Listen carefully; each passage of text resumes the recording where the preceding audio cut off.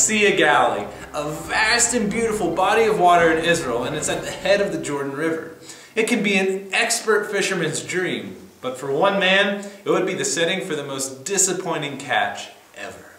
His name was Peter, and obviously he was taking the failures of the morning really hard. I mean, he was probably hanging his head really low, trudging his feet. He's probably even crying a little bit, but I guess we never know. But Hey, well, actually, I'm feeling pretty good right now.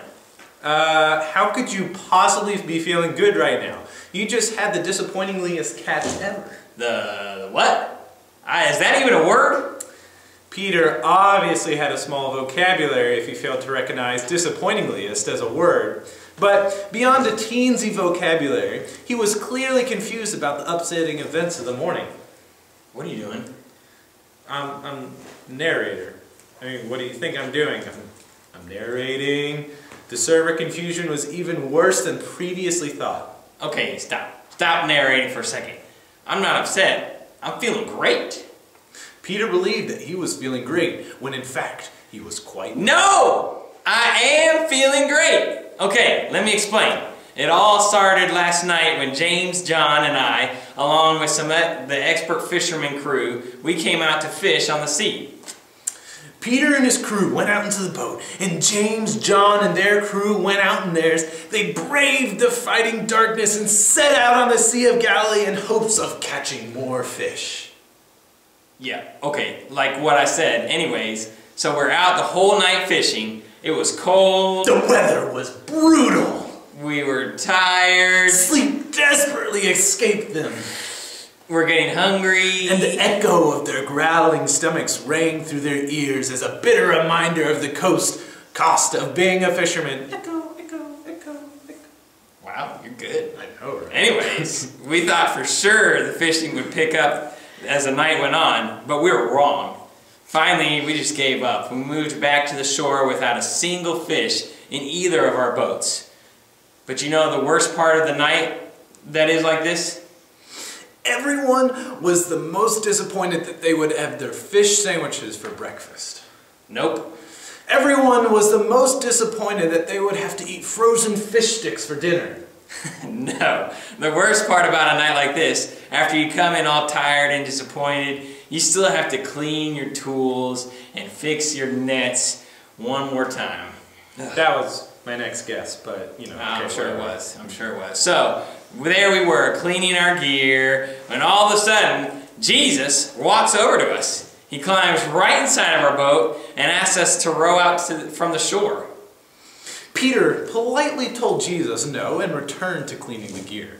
No, that's not what happened. I said yes, and we took him out into the boat. We got a little bit from the shore, and he began to teach the people. It was amazing. And then you'll never guess what happened next. Peter proceeded to lead everyone in a game of Simon Says. You see what I did there? Yeah, I get it. Because my full name is Simon Peter. Ha ha, ha, funny. That's nice. No, actually, Jesus leaned over to me and whispered, Go out a little bit deeper and let's put the nets down to catch some fish. At first, I thought, man, dude, you're just joking. I mean, come on. I'm a fisherman. I'm an expert. I've been doing this my whole life. We were just out all last night, had a bad night, didn't catch anything. You mean you your bad night and you had the most disappointingliest catch? No, doesn't doesn't mean I'm going to go back immediately and try again. It's just silly. But there was something about what he said. I know. I knew it was crazy. And I also could tell that there was something different about this man. I should listen to him and what he said. So I said, Master, we've gone to work all night and we haven't caught anything. But because you say so, I'll let down my nets. So I cast my nets overboard. And came up just as empty-handed as before, making it his second most disappointingliest catch of the day. Oh my, that's such a bummer. No, no, not at all. I cast my nets and boom! The fish went nuts. My nets were beginning to break. There were so many fish, never seen anything like it. James and John had to come out in another boat just to help. I mean, there were so many fish, we lifted both boats full. It was a miracle. Uh, wow. I'm... Speechless? Yeah, so was I. I bowed down to the feet of Jesus because I knew he was more than just a teacher. He was the one who God had promised would come. He was Lord. Peter then humbled himself and asked Jesus to join his fishing crew as chief fish finder.